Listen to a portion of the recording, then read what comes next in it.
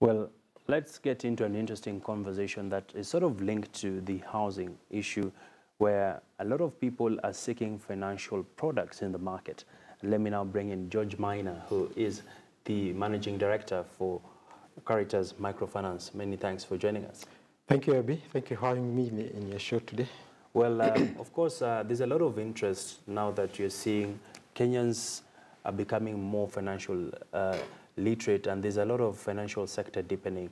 From where you sit, um, what are the trends looking like in terms of absorption of credit and uh, generally the uptake of financial products in the market?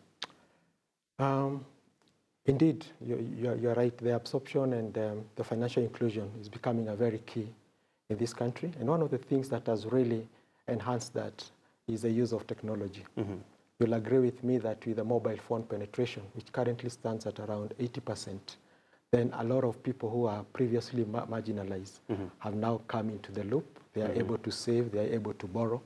And indeed, there is, the penetration has been growing deeper right. on a daily basis.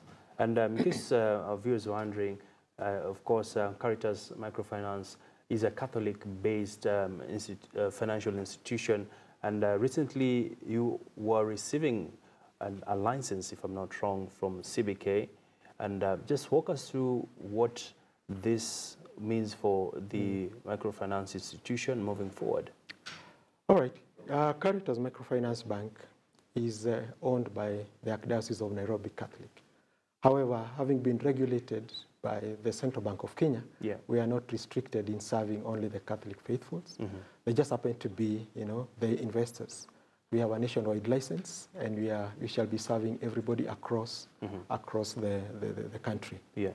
We received our license uh, in 2015, so we've been operating now for the last one and a half years. Mm -hmm.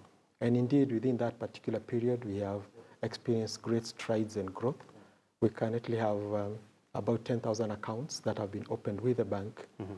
managed to mobilize about 400 million Kenya shillings in savings, and we've been able to disburse over 200 million. So the trajectory looks good. All right. Speaking about the trajectory, of course, um, one would be keen to find out what has been driving the growth in the loan book as well as the deposits. As you, you, you rightly mentioned, the fact that we are associated with the church already gives us a very prime uh, target market. Mm -hmm because the, the goodwill we have received from, from the church has been quite encouraging. Yeah. And we are seeing institutions opening as well as the, the individuals. Mm -hmm. that, that has been very, very helpful.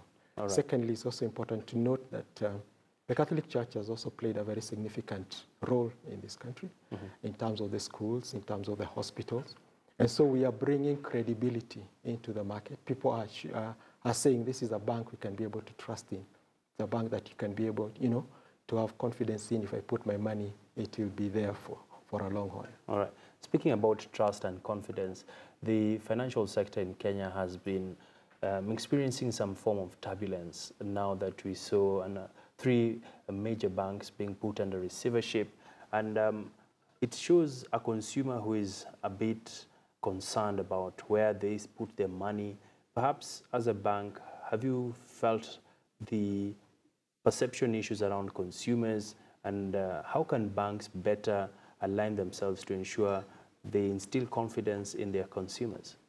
I think one of the things that also has also happened is that even as the consumer gets aware, the, the, the, regulator, the Central Bank of Kenya, has also played a very key, key role.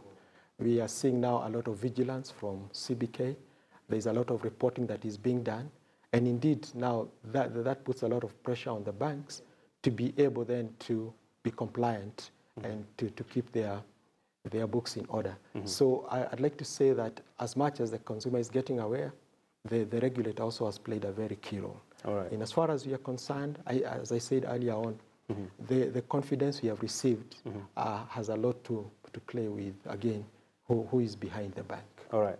And uh, as we are speaking about Caritas and uh, the outlook for Caritas, Perhaps um, are we expecting some major expansion plans um, in this day and age where we are seeing there are lot of, lots of opportunities across counties for financial institutions to have a presence in?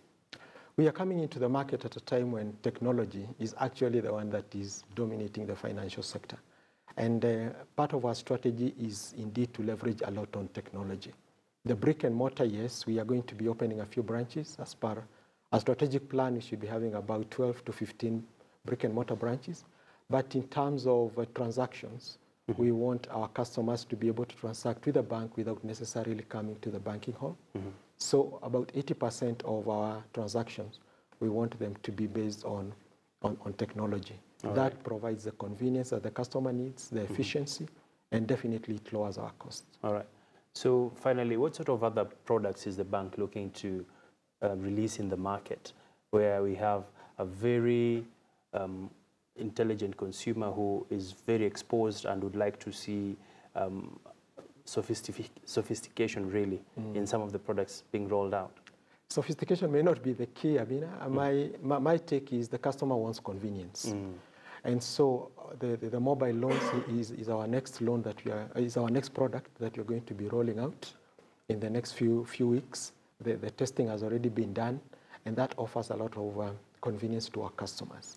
The statistics are showing that uh, the peak time actually for borrowing from the mobile loans, you'll be amazed, is at night.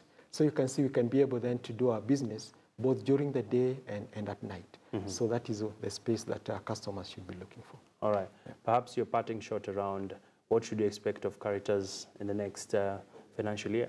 Caritas Microfinance Bank is the next big thing. If you look at Uganda just across uh, our neighboring country, mm -hmm. the Centenary Bank is the largest in Uganda mm -hmm. in terms of asset and, uh, and also in terms of the, the branch ne network. Mm -hmm. So we want to emulate what Centenary Bank has done in All Uganda right. All right. so that we can be able to do it here in Kenya. So this is the next big thing. Many thanks. We'll be watching this space. Thank you, Abina. All right.